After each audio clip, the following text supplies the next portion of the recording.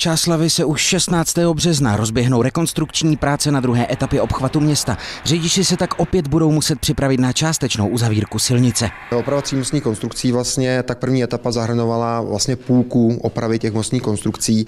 Eh, to je eh, teď výhoda v tom, že už vlastně by eh, firma, která realizuje, neměla být překvapená ničím a bude opravovat tu druhou půlku, menší půlku těch mostních konstrukcí. Opravy obchvatu provádí ředitelství silnic a dálnic. Město není přímým účastníkem. Přesto se bude opět snažit na průběh prací dohlížet. Během stavebních prací budou muset řidiči využít objízdné trasy. Vedení města po projednání vybralo stejný způsob objížďky jako při první etapě. My jsme si nechali vyhotovit bezpečnostní audit, který posoudil všechny možné etapy nebo všechny možné eh, trasy, které, eh, kterými by eh, se ta doprava mohla ubírat.